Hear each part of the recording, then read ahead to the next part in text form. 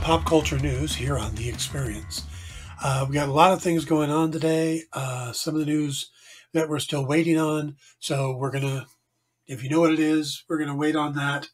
We are just going to uh, get right into the stories that we do know.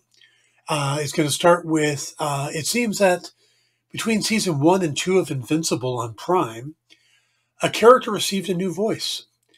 In one episode of the first season, mad scientist D.A. Sinclair was voiced by the Flash and Fantastic Beast star Ezra Miller. But in the newest episode of the series, Sinclair is now voiced by X Men 97's Eric Bauza.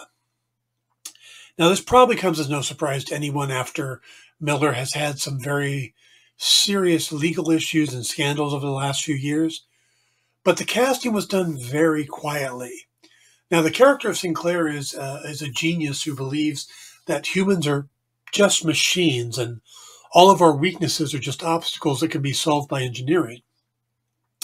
He was illegally turning humans into reanimen when he was stopped by Invincible, but from there, he was picked up by Cecil, Cecil Stedman, head of the Global Defense Agency, with the idea of creating reanimen for the GDA. So yeah, just like you would think the government would do. So, but yep, voice change there, and Eric Bauza is now D.A. Sinclair on Invincible.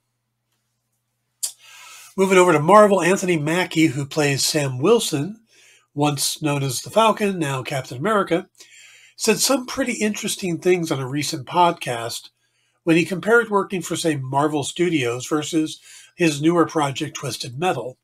Now, he was doing an interview with the Radio Times, and Mackie said that within the MCU, there's only so much creativity you can bring to the table because Stan Lee gave us so much content. Whereas with Twisted Metal, it was like uh, there's a guy and a girl, go. So we were really able to build the whole world around it. Now, I don't think Mackie was actually complaining. He was just saying that with Marvel characters, you have to coincide, and, and this is his words, coincide what Stan had already gave us. It's an interesting juggle to be part of that world. Now, while with Twisted Metal, it was more, let's just have fun and figure it out as we go. No idea if Mackie really thinks that Stan Lee wrote all of the Marvel comics, or if it's just because Stan co-created Sam Wilson with Gene Colan. So yeah, I don't think Stan. I don't think uh, Mackie is actually trying to say that everything in the Marvel universe was created by Stan Lee.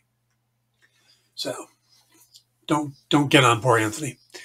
All right, uh, we do have some sad news for fans of the quirky detective series Death and Other Details, which uh, recently aired on Hulu. I just finished it uh, the other night. I had watched most of it with uh, my girlfriend and she just uh, came back, so we were able to f- watch the last three episodes together. And it ends in kind of a a setup for a second season. Well, Hulu's decided, nope, no second season. Now, the first season starred Mandy Patinkin as this former great detective Rufus Cotworth, Cotsworth, Violett Beane from The Flash. She plays his protege Imogene and they wrapped up the whole mystery and it kind of left all the characters in a good place except for the last few minutes. So had they not done the last few minutes the show would have been over and people probably wouldn't be thinking about it. But instead in the last few minutes imogene and three other characters lila played by Par- uh, Teddy, Angela Zhao, and Jules, Hugo Diego Garcia, discovered some severed limbs on a snowy mountaintop. Now, while the cancellation is sad, it isn't surprising as the show never really broke into the top 10, nor was it really talked about much on social media. I think I talked about it a few times on my show, and I never saw anybody else talk about it. It is an interesting murder mystery. Uh, it's still a good watch. It's very twisty turny. So if you get a chance and you're looking for something different on Hulu, give it a shot. I enjoyed it very much. So did so did my girlfriend. So uh, also in sad news, of course, this is even more tragic. 27 year old Chance Perdomo, star of the boys spinoff Gen V and, and the chilling adventures of Sabrina, died as a result of a motorcycle accident on Saturday. Now, no other individuals were involved. In a statement released by his family, they spoke to their loved one saying, His passion for the arts and insatiable appetite for life was felt by all who knew him, and in his warmth will carry on in those who he loved dearest. We ask you to please respect the family during uh, for pri- whose wish for privacy in the mourning of their loss their beloved son and brother. Now, if you've watched the series, Page uh, Perdomo played uh, Andre Anderson on the Prime series Gen V, which was just about to start their second season, but now the uh, production has been pushed back. Um, one of the producers from the series released a statement saying, We can't quite wrap our heads around this. For those of us who knew him and worked with him, Chance was always charming and smiling, an enthusiastic force of nature, an incredibly talented performer, and more than anything else, just a very kind and lovely person. Even writing about him in the past tense doesn't make sense. We are so sorry for Chance's family, and we're grieving the loss of our friend and our colleague. Hug your loved ones tonight. So, um, season two has already been written, or most of it has been written. So they're going to have to figure out how they're going to address the loss of the uh, character or the actor and how they plan to move forward with the character. Will they write him out, put in another character, recast? All right. Uh, moving on back to the MCU and some little more interesting news. There's been a lot of rumors about the character of Iron Fist returning to the MCU now that Marvel has made all of the Netflix series canon. Now, first were reports that an Iron Fist will appear in the upcoming animated series Eyes of Wakanda. Now, this is going to show the lineage of the Black Panther through the centuries, and the odds are that the Iron Fist we meet there is going to be one from the distant past. So it will be a different Black Panther and a different Iron Fist. Great. The second rumor was that Iron Fist would appear in the upcoming Shang-Chi 2. Now, there's always also been talk about that's going to be a time travel movie as well. So maybe he meets that same Iron Fist, something like that. Or it could be, you know, there's no confirmation that it's a time travel movie. If it's in current day, maybe we get back uh, the characters from the Netflix series. Um, but it's also interesting because in the Netflix series, it ended with Danny Rand being in uh, possession of uh, Orson Randall's guns that he used to do the Iron Fist, while Jessica Henwick had the Iron Fist that Danny Rand had. So that's kind of confusing. So, and, and with Marvel pulling them back in, they're kind of picking and choosing what is and isn't canon. So we're not sure what we're going to get when they do come back. But the reason I bring this up is that um, um, Finn Jones, who he wasn't very well received in the first season, but anybody who stuck around and watched the Defenders, watched him appear on uh, Luke Cage, or watched him in the second season, saw that he did make a lot of improvements, both in his fighting and in his performance. Um, I equate a lot of the, the, the badness to season one to the showrunner uh, Scott Buck, who also did the inter- the uh, Inhumans. So that should tell you something. Um, but Jones recently posted on Instagram. He, he's talked about wanting to come back, but he he posted a picture that kind of could have been teasing because the image shows uh, a copy of Power Man and Iron Fist number 125. Now, Power Man and Iron Fist is kind of the lead in for Heroes for Hire. It started out as Luke Cage Power Man, then Iron Fist joined, and it went to issue 125, where they ended the series. Also in that were the Daughters of the Dragon, which was Colleen Wing and Misty Knight. So there's a lot of setup there in that particular issue. And then next to it is a copy of the never ending story novel. So people are going, oh, Finn Jones is saying that the uh, Power Man and Iron Fist are heroes for hire is a never ending story, and that they're saying that he's probably coming back. I don't know. It is interesting that those are the two things he decided to post. So, all right, moving over to Star Wars news. Don't call it a day yet for Ewan McGregor. I know we did a report last week that um, Liam Neeson said that he was done playing Qui Gon Jinn. Well, McGregor, not done. Very clearly not done playing Obi Wan Kenobi. In a recent interview, the actor expressed his interest in reprising the role after having a really good experience with season one of the Disney Plus series. Now, McGregor, McGregor acknowledged that in the past he's had to lie to fans to basically keep a surprise. But this time he swears he has no clue if he will return or not. He says, The truth is, I've talked about having to cover for doing Obi Wan season for years. I had to lie about that. And I'm not lying about this now. I don't know. There's been no phone calls to me from Lucasfilms or Disney saying, let's do another one. Obi-Wan was made as a limited series and it's out there and people like it, which I'm very, very pleased about.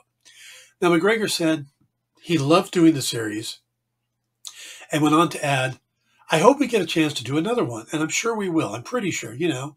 I've got a few years yet before I'm the same age as Alec Guinness was in A New Hope, so there's time. Time to tell more stories in there. So I, I for one would love to see McGregor come back. I really enjoy his take on um, Obi Wan Kenobi, and I did like the the mini series. I thought it was a lot of fun. So, all right, moving over to James Gunn.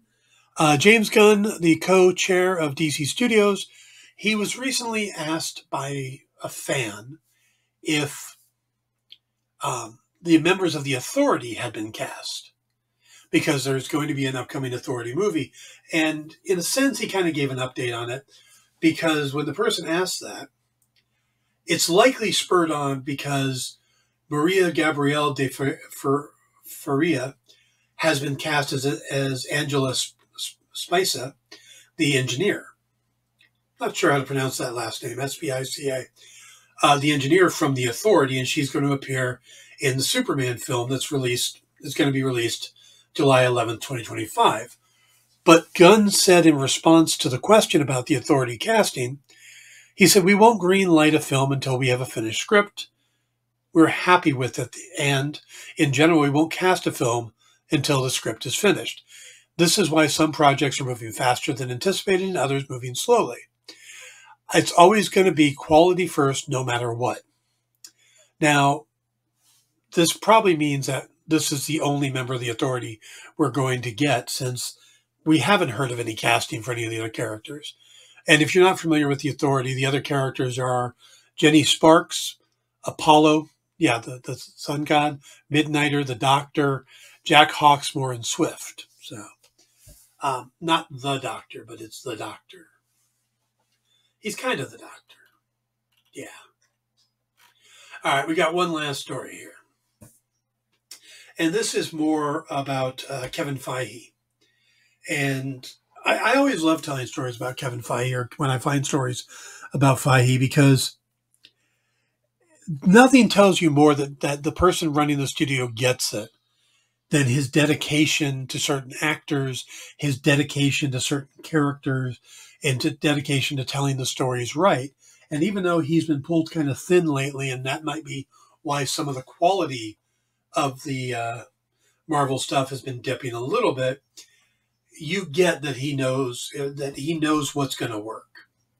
Now, back when Marvel Studio was just getting started and most of the attention was on Iron Man, Universal went ahead and got started on the Incredible Hulk, which kind of split focus. And you know, Marvel was so focused on Iron Man that they kind of let things happen on the Hulk more than they probably should have. Now, we know that Universal disagreed with director Louis Leterrier and Marvel about casting Bruce Banner because the director in Marvel wanted Mark Ruffalo, who we eventually get, while Universal wanted a bigger name and they wanted Ed Norton. And Universal got what they wanted. They were the ones really backing it, putting the money in. But that wasn't the only casting that they disagreed about. See, Universal was originally against Tim Roth as Emil Blonsky, the Abomination. They wanted a bigger name because they looked over at Iron Man. They see, well, Robert Downey Jr. is playing Iron Man, but um, uh, his name just left my boat. Uh, Bridges, Jeff Bridges was the bad guy, was you know part of the movie too. So they wanted a big name, and Tim Roth, good actor, probably not a big name. You know, he's not a he he doesn't really sell movies on his own. Now, Leterrier and Roth worked together to convince Universal through um, screen tests and stuff like that that he was the right choice, and eventually he won out. So Roth, of course, appears as um, Abomination, you know, but Kevin Feige wasn't part of that battle. He was in on the Ruffalo one, but he wasn't in on this one. But when he found out about it and saw the footage of Roth as Blonsky, he absolutely loved it. And then later on, when the Avengers came out, and it was time to deal with the Bruce Banner character, and they decided to replace Norton with Ruffalo, Feige said at that point that if the Abomination was ever to return, he wanted Roth to come back. And when it came time, there were others in the studios who were like, no, no, no, we just recast it, no problem. And Feige put his foot down and said, no, I want to bring Tim Roth back. And we got him back in Shang-Chi and the Legend of the Ten Rings, and then She-Hulk Attorney at Law. But I, I, there's something about that. There's something about the fact that Kevin Feige will stick to his guns when it comes to actors. And it's probably why we got um, uh, William Hurt back as Thunderbolt Ross for until he passed away. It's why we're getting Liv Tyler back because when he sees a good actor in a role, he brings them back. It's the same thing with the Netflix stuff. Yeah, Marvel and Netflix and uh, um, Marvel TV were kind of butting heads. They weren't on the same page a lot of it, but Feige made it clear there were certain actors that he saw that he absolutely wanted back. And we got Charlie Cox back. We got Vince D'Onofrio back. We're getting Jon Bernthal back. And there's talk about these other characters coming back too. So I just like that about Feige. I like that story about Feige because it, it seems like he's not necessarily the guy that cares about money first. And that's such a rare thing in a Hollywood studio that he wants to tell what the, the best story using the best actors. And I appreciate that. So, all right, guys, that wraps it up. Stick around here on the experience for the rest of the day. We're going to have a minute to skim it, where uh, Jen, um, Kyle, and Jay go over the new book releases and give you reviews. Then we'll get. Um, I always have a hard time remembering the lineup. But stick around for a minute to skim it, and we'll get to the rest of them uh, also, kicking it with Henri and Mint Hunter are the other two. So, got a good good lineup here. Stick around for that. Have a great day. Talk to you later.